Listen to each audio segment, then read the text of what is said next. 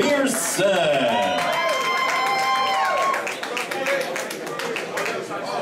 Okine on the scale right now. 158.8. 158.8 for Okine. Comes into this one with a 49% knockout percentage. Joshua Bokun Satsu Okine.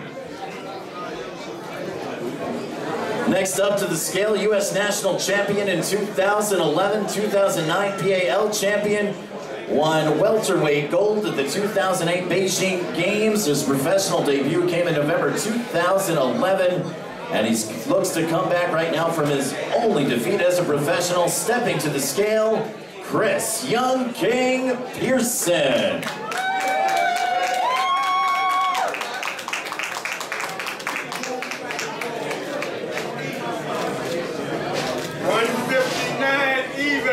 59 even for the young king, Chris Pearson.